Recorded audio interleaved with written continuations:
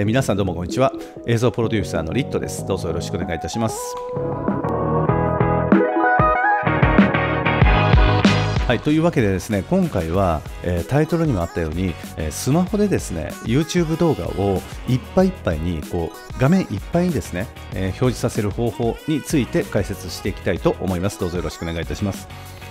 えー、まあ、この動画ではあまりチュートリアル動画っていうのはあまりやらないっていう風なお話を以前にもしたかと思うんですけれども、えー、ただね今回のこのこれチュートリアルというよりかはもう本当にあの非常に簡単な設定で例えばですね、まあ、シネマティック映像などを作られた際に、まあ、YouTube にアップロードしますよね。でアップロードした時にえー、シネマティック映像って基本的に大体まあほとんどの場合がこう上下にクロップを皆さん入れて、まあ、クロップっていうのはあの黒帯みたいなやつですね。上と下にこう帯みたいなのを入れてアクセプト比って言ってですねそのえー、縦縦横比ですね、えー、映像の縦横比あれをアスペクト比というふうに言いますが、まあ、基本的にはデフォルトではだいたい16対9という設定になっていると思うんですよ。で皆さんがいつもテレビを見られるあのテレビもほぼほぼ16対9でできていますね。はい、で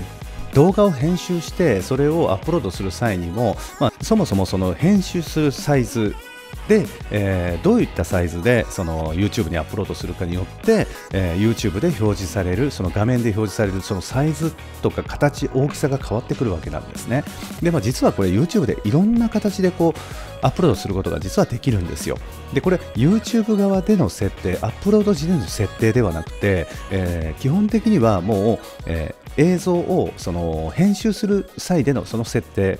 によって、えー、YouTube でアップロードした際にどのサイズ、どの形で、えー、形といってもねあの丸とかはできないんですよ、もちろんあの四角しかできないんですけれども、まあ、いろんな形で、えー、いろんなそのアスペクト比でですねアップロードすることが実はできます。で別にこれは新しいメソッドでも何でもなくてですねもう以前からある機能なんですがただ今僕がこう YouTube を普段こう拝見している限りではですねもうほとんどの方がまあ16対9、まあ、最近はねあの縦動画というのもちょっと前に流行り始めて、まあ、縦動画というのもたまに見ますしあのインスタグラムみたいにあの正方形のねああいった動画もたまに見かけるんですけれど、まあ、ほぼほぼ皆さんが見られてる普段見られてる動画というのは16対9で、えー、書き出されてそれをアップロードされているものだと思います。で実際皆さんが今、えー編集をしてですね、えー、映像編集をしてそれを編集するその際のそのシーケンスってありますよねでそのシーケンスを作る際でのその設定で、えー、その映像がどういうサイズアスペクト比で書き出されるかということが決まってくるわけなんです。で、まあ、そこで決まったそのアクセプト比で、えー、YouTube にアップロードした際に、えー、例えばスマホで見た時もこの PC で見た時もそうなんですが画面に表示されるそのアスペクト比っていうのが変わってくるという、まあ、こういった話なんですね。はい、で、えー、今日ね本さっきですね、えもう今すでにね何回か見ていただけてるようなんで、まあ、ちょっとありがた嬉しいんですけれど、え何の動画なんだこれっていうような動画がアップロードされてるかと思います。でどういったタイトルの動画かというとそのサムネイルが 1920×960 でえ書き出した動画っていうものが一つと、えー、上と下にその赤い帯がついたそのサムネイルですね。はい、と、えー、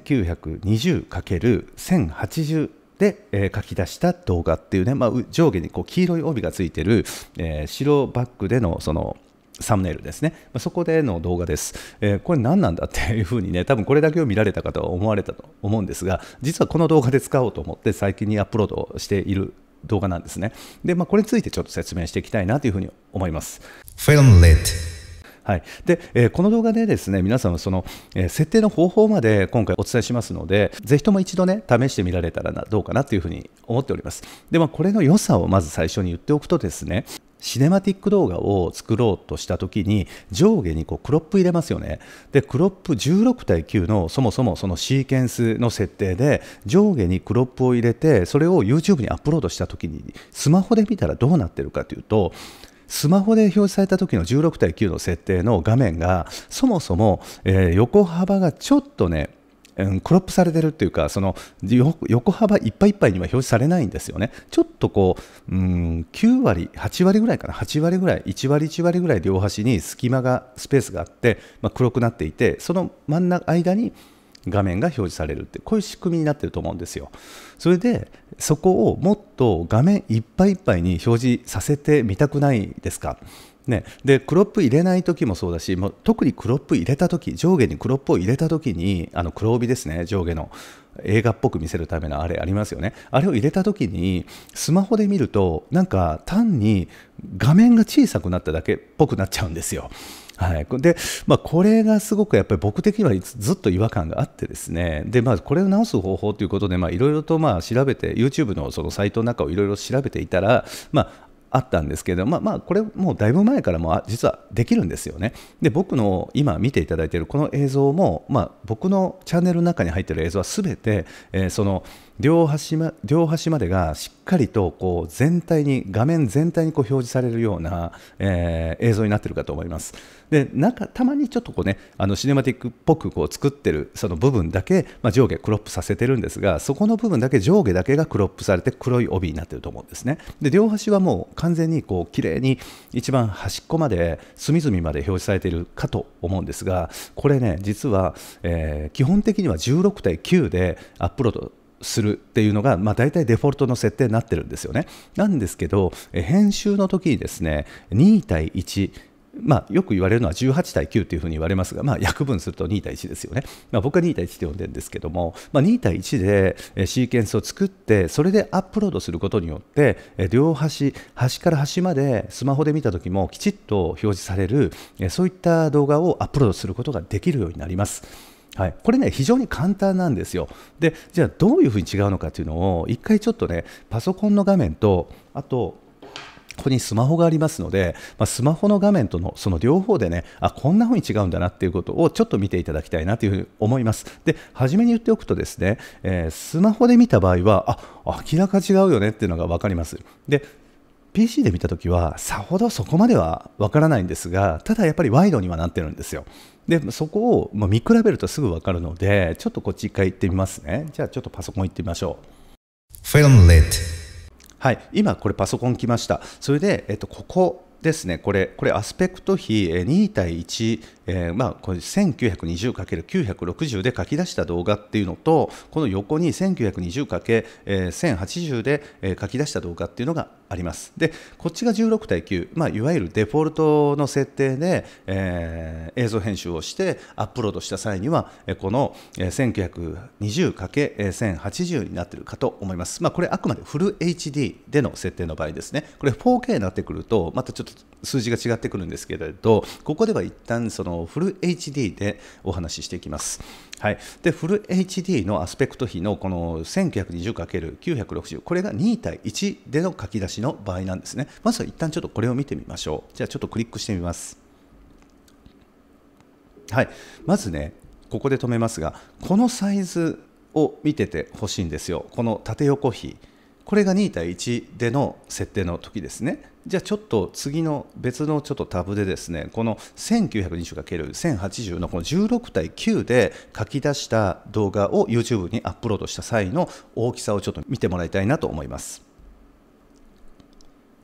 はい。わかりますか？これが、えっと、16対9ですね。そしてこれが2対1での画面の大きさになります。これで見てるとこれが2対1そしてこれが16対9ということで形が違うの分かりますよね。はい、これね意外と知らない方多いのかなって思うぐらいほとんどあんまりこのサイズでこう設定されたものが見たことがほぼないんですよ。まあ、あの何人かの方のその映像クレーターやってらっしゃる方であの見たことあるんですけれども、まあ、例えばピーター・マッキーノンさんとかですね、まあ、その海外のねえー、映像クリエイターさんですね、すごい有名な方、それとあと、まあ、数人、なんかこのサイズでやってらっしゃる方、日本人でもたくさん何人かいらっしゃるんですけど、まあ少ないんですよね。でこれをこの設定でやった方がいい理由っていうのがですね、まあ、やった方がいいというか、まあ、好みもあるので、まあ、それとかと、まあ、どういった映像をどういうふうに見せたいかによっても、まあ、こっちがいいとはもちろん言い切れないんですがあの上下をクロップさせた動画を、えー、そのクロップ、まあ、黒帯を入れた動画をですねこのスマホで画面いっぱいで見せたいなと思ったとしたらば間違いなくこの2対1のこっちの設定の方がちゃんとそれが表示されるんですよ。まあ、そういう意味でですね、まあ、2対1で、えー、書き出したときに、まあ、上下クロップさせたときにですねそのスマホの画面いっぱいいっぱいに見せることができる設定としてちょっと聞いていただければなというふうに思います。はいでえー、じゃあちょっとねこれ進めていきたいなと思いますが、まあ、進めていくというか、まあね、形がもう一緒なので、えー、まあ、こういうふうに出てきますね。はいまあ、ちょっとこれ上ちょっと暗いんでね見づらいかもしれないんですけどここのこのこのモニターのこの上のこの幅を見ててくださいね。はい、でちょっと16対9の方で同じ場面をちょっと出してみたいと思います。はい、はい、このここからここまであるんですよ。それでこっちはっていうとこんだけしかない。これでまず分かりますよね。はい、でここに、えー、大体基本的に映画館で見るそのアスペクト比っていうと、まあ、一般的にはですけれど、えー、っとですね、2.35だったかな？2.35対1なんですよ。でこれ2対1なんですね。でってことはここに少しクロップをかけるとその2.35対1に結構近くなりつつそしてスマホで見た時に画面なるべく大きく表示させることができるっていうそういう仕組みになってるんですね、はい、そういう方法になってるんですね、はい、でまあこれちょっとねまたねえっ、ー、と下のね概要欄の方にもこの2つの動画リンク貼っとくので皆さんのブラウザで、え特にスマホでね、えー、見比べてみ見ていただければなというふうに思うんですけれどもちょっと次はねこのスマホの方ちょっとどういうふうに変わってくるのかっていうのをちょっと見ていきたいなというふうに思います。はいはい、それではちょっとスマホの方こっちの画面に見ていきましょう。はい、こんな感じになってますね。はい、これ僕のページです。で、この上に、この下に、で、このこことここですね。これとこれとこれ、えっ、ー、とこれとこれになりますね。はい、これとこれがその動画なんですが、ちょっとまずはね、えー、と2対1、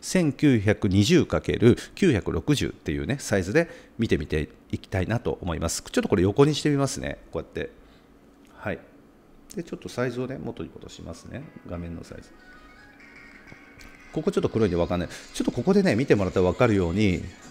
はい。分かりますか？これ。サイズ。これが2対1のサイズです。この横を見ていただきたいんですよ。こう横端から端までちゃんと入ってますよね。映像が出てますよね。この上ももう完全に上まで出てます。はい、それに対して今度は16対9、基本的なそのデフォルトの設定で書き出し、まあ、シーケンスを作ったときに、シーケンスを作って、そこで編集をして、それを書き出して YouTube にアップロードした、まあ、デフォルトの設定ですね、基本的な。はい、それを見てもらいます。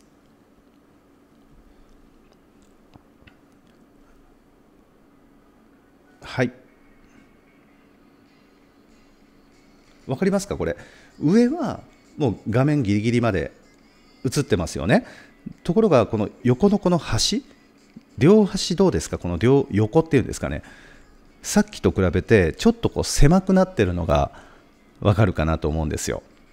はい、これがアクセプト比16対9と、え、2対1との違いになります、え、特にこのスマホで見たときがやっぱり全然違いますよね。もう本当特にこうクロップ入れたときなんて本当に使えるんですねこれね、はい、では早速これを具体的にどうやったらこの設定ができるかということをちょっとこのまたパソコンでね説明していきたいなと思います。Filmlit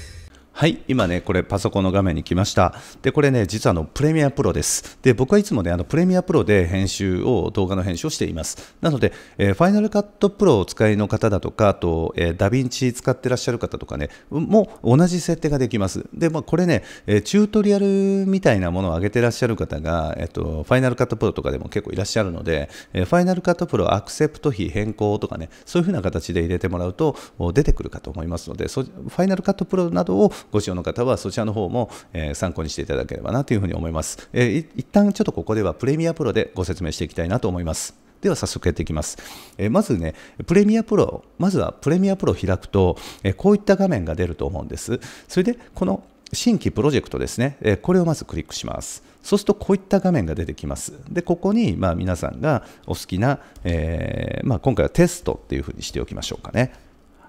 はい、え、テスト、えーと画面、画面サイズテストにしましょうかね。画面サイズ。はい、画面サイズテストというふうにして、まあ、あと任意の場所にどこに、まあ、その格納するかっていうのをこの参照というボタンを押して、えー、ここを変えていただければなと思います。今はこのままちょっといきたいなと思います。で、あとは何も設定いじる必要はありません。で、OK をクリックします。はい、そうするとこういった画面が出てきますよね。はい、でここでまず、まあ、プロジェクトいろいろ、ま、どういった動画をまあ、編集していきたいのかっていうのをここに入れ込みますよね。入れ込んだ後、次はシーケンスっていうのをここに作りますね。このタイムラインって書いてるところ、ここにシーケンスをまずは設定するわけなんですが、まずこの上にあるこのファイルっていうところがあるので、ファイルからこう新規、そしてシーケンスに入ります。そうするとこういった画面が出てくると思うんですね。で、ここで、えー、まず、設定っていうところ行きます。で設定いきますとこのピクセルってここがあるので一番上にカスタムっていうところがあるんですよ。でこのカスタムをクリックします。そして、まあ、フレームレートですね、まあ、あのお好みのフレームレート、まあ、23.976なのか24なのかそれとも30なのかっていう、まあ、そういったものをフレームレートを設定していただいて僕はいつもね基本的にこの23.976フレーム秒ですフレームレートがこれでやってますねそうするとこのフレームサイズっていうここ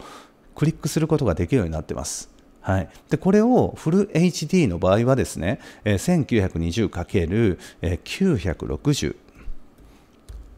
に設定します。そうするとここ、ちょっとここ見ててくださいね。これ今16対9になってますよね。で、違うところ、どっか適当にクリックすると、2対1に変わりました。はい、2対1。そうすると、この縦横比が、高さがま960の幅が1920ということで、このサイズのシーケンスがこれでできたっていうことなんです。で、まあ、ここに、えー、まあ、テストとか、まあ、適当にね、あの皆さんの任意のファイル名を入れてもらって、で、あと、あとはこの OK をクリックするだけですね。はい、これだけで OK なんですよ。それで何かこのここにま映像が入っていて、まあ、これがねカメラでの設定で基本的には16対9になってると思うんですよ。あの撮影された時にそのフッテージがですね。でそれをそのままここにドロップドロップドロップして編集を始めていきますよね。あるいは、ま、ここに表示されたそのクリップで必要なところだけ抜き取って、えー、このシーケンスにドラッグアンドドロップしてってやりますよね。その際に、えシーケンスのこの設定と、え撮影されたその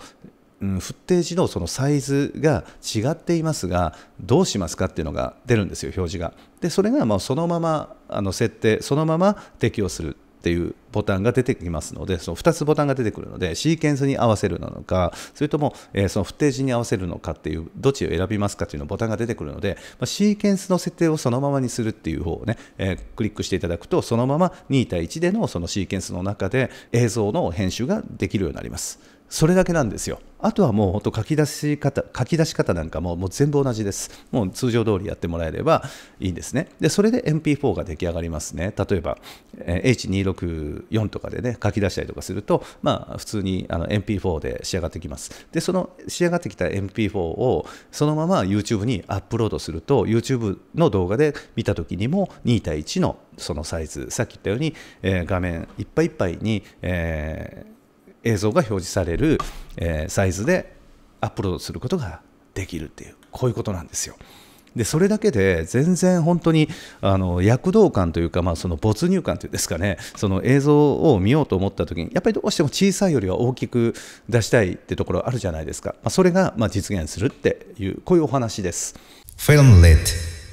はいえー、今回はねこんな感じなんですが、まあ、本当に簡単な本当にすごい簡単な設定でねあの全然その YouTube でアップロードさせた時にアップロードして表示させた時に映像の大きさが全然変わって見え見せることができるっていうこれを知ってるか知ってないかでもう全然やっぱり違うと思うんですよ。で、まあ、16.9しか知らなければその